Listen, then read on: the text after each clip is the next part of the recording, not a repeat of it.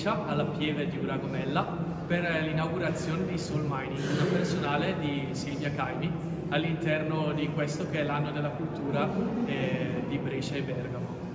La, ho curato personalmente l'allestimento e organizzato la mostra e devo dire che ho trovato una capacità eh, esprimere attraverso del, la simbologia dei corpi in movimento in realtà un eh, allenamento, una ricerca nell'anima. Sul mining infatti eh, vuol dire scavare all'interno dell'anima e il percorso di mostra ci porta mano nella mano da un momento di trauma che favorisce una crescita e una ricerca personale fino ad arrivare ad un Federer che è uno dei simboli più ampi, più grandi della nostra società di eh, unione tra fisico e anima in una dedizione totale. Dietro di me vedete appunto un, eh, uno dei quadri, uno dei quadri che io preferisco di questa mostra dove l'anima e il corpo si fondono